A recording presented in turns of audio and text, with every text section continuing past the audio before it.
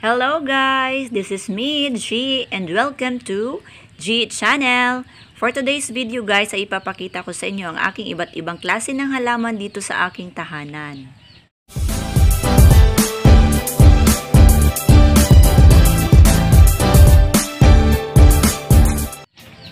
So, dito tayo mag-uumpisa sa first plant rock na ito guys. So, yung unang bungad pa lang makikita na natin si Doña Carmen Aglonima.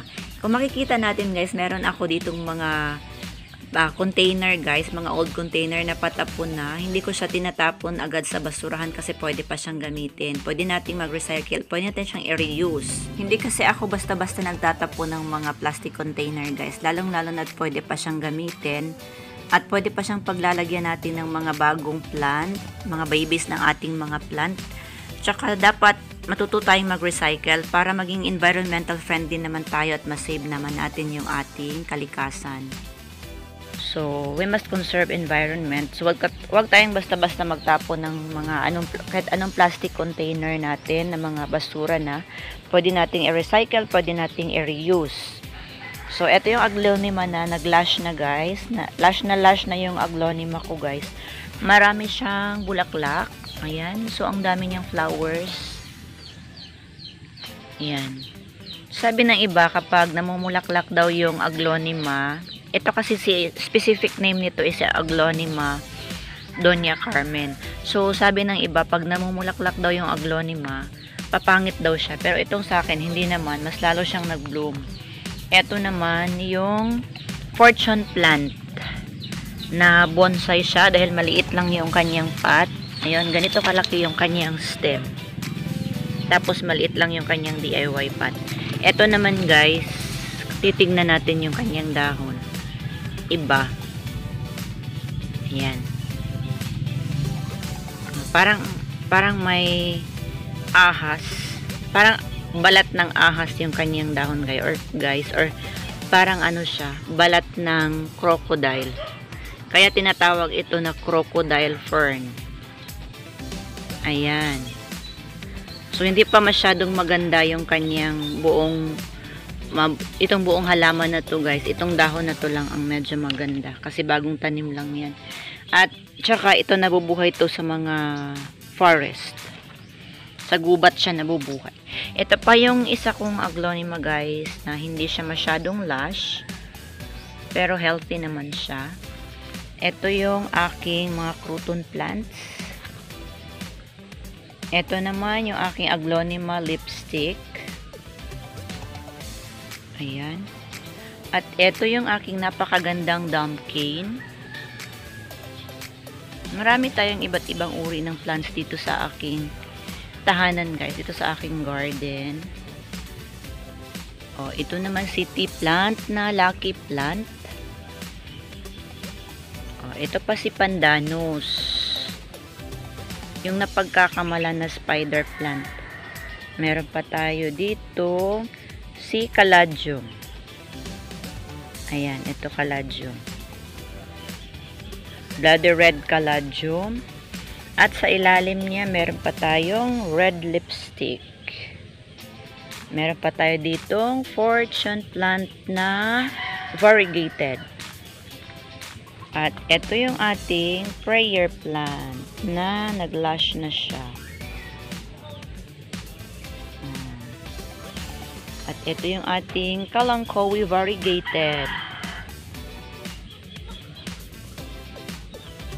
Ayan, ito yung ating spider plant na may halong Epicia copriata sa kanyang pot. Pinaghalo ko na siya guys. Ito naman guys, yung galing sa gubat. Siya. Sinabit ko siya dito sa may baliti na puno. Tapos, kinakapitan siya ng ugat ng baliti. Oh, so, yun guys, oh, yun na yung kumakapit sa kanya, yung ugat ng baliti. Yun yung uh, nagho-hold sa kanya para hindi siya mahulog. At saka nilagyan ko rin siya ng turtle vine o mix yung flower ko na mula sa gubat guys. Mixed with turtle vine. Maganda naman siyang tingnan. At nandito pa yung ating isa pang prayer plant. Ah. At meron pa tayong red lipstick dito. Marami tayong red lipstick. Ito pa yung ating bombastic or dumb na ibang klase din. Meron tayong Aglonema Brilliant na lush na lush na siya.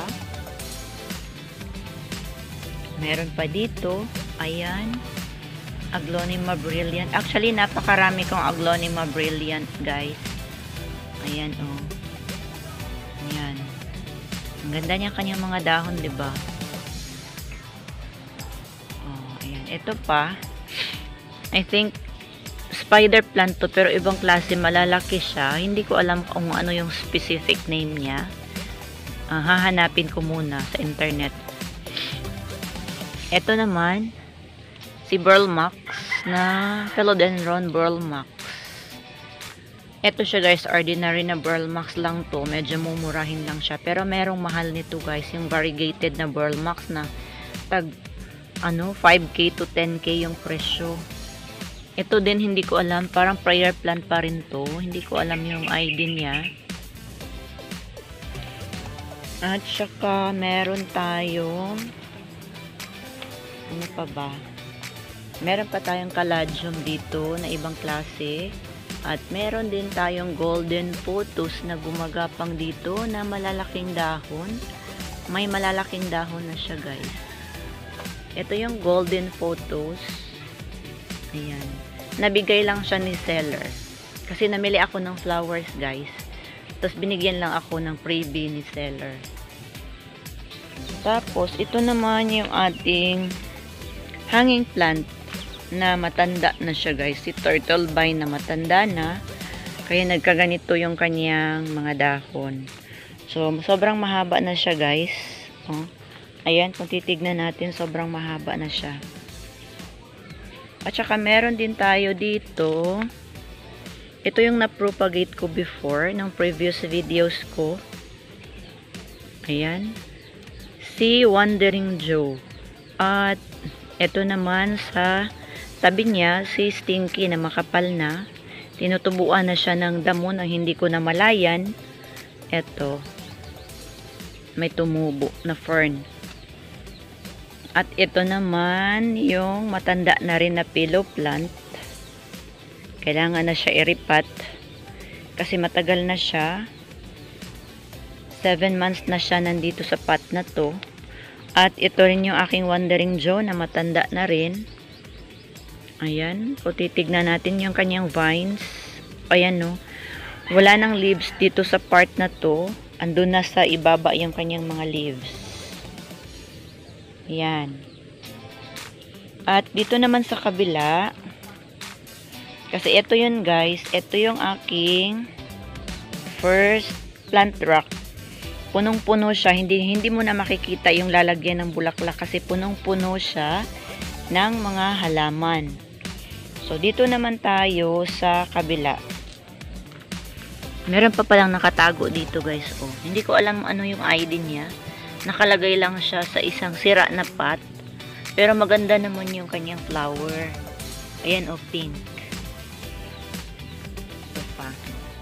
So, dito tayo, same pa rin yung mga bulaklak dito. Yung turtle vine, oh, sobrang mahaba na siya. At saka, ito yung variegated pala guys, na turtle vine. See, oh.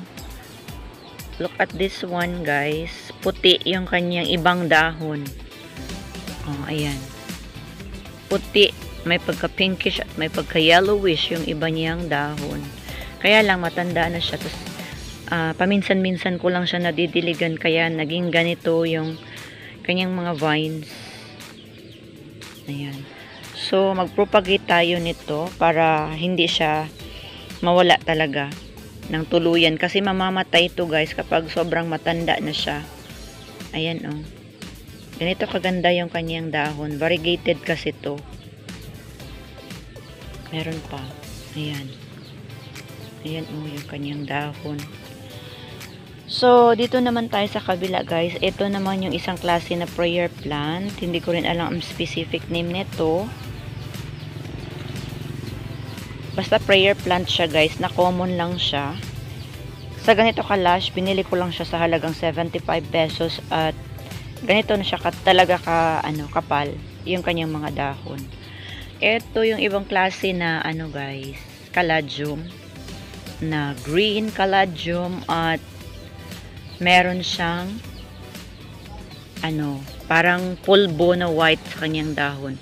Ito yung isa niyang dahon guys, o purong-purong white na may uh, may lining-lining na green sa gitna ng kanyang dahon. Ayan. Ito naman si Philodendron Lemon Lime na na-feature ko na before. Ayan, Philodendron Lemon Lime. At ito si Philodendron Prince of Orange. Medyo mahal to guys. Kaya kaya ako nag-propagate nito. Kasi actually, ito yung mother plant niya. Ayan, ito yung mother na pinutol ko before. Tapos nagkaroon siya ng baby na ganito, malaki na. Tapos meron pang isang baby dito guys. Oh. Ayan. Ayan. Kapag pinutol ko ito dito, lalaki itong baby na to. Pero nanghihinayang pa ako putulin siya. Kasi ano, parang bago lang siyang nag-bloom. Bago lang siyang naka-recover. So siguro pag ano na siya, nagkakaroon na siya ng 5 leaves, pwede na siyang i-propagate kasi sayang naman, kawawa naman siya. Tapos, meron tayong meron tayong bagong na-propagate dito guys, yung bagong na-propagate ko before na agave. Agave plant. Dito ko na lang siya inilagay. Siniksik ko siya dito kasi may tinik siya. So, natatakot ako na baka masagi ng bata or masagi ng mga kasama ko dito sa bahay. Kaya, siniksik ko siya dyan para hindi siya maano galaw. Ito naman yung aking wave of love na namumulaklak siya guys. Ayan oh. Yan yung bulaklak niya. Yung wave of love. Meron pa tayo ditong isa na mas malaki.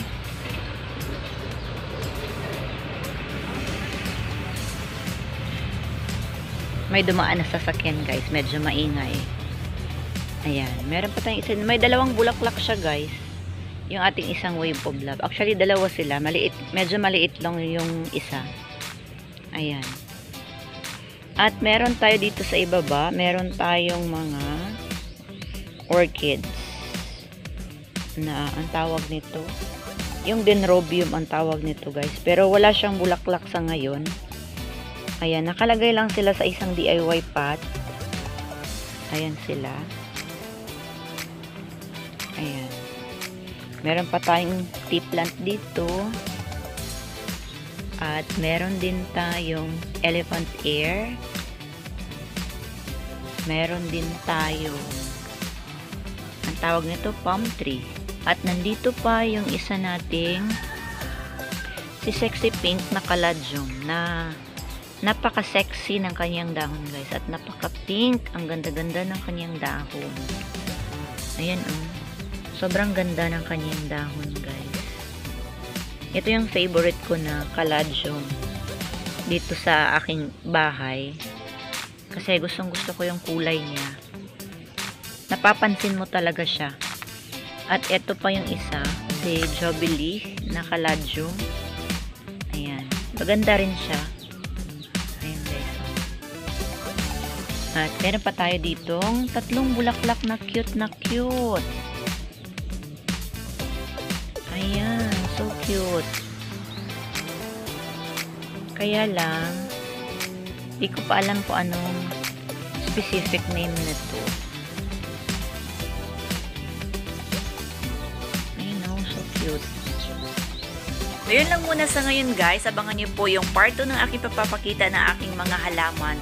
This is G Channel. Don't forget to like, don't forget to share, and of course, don't forget to subscribe and hit the notification bell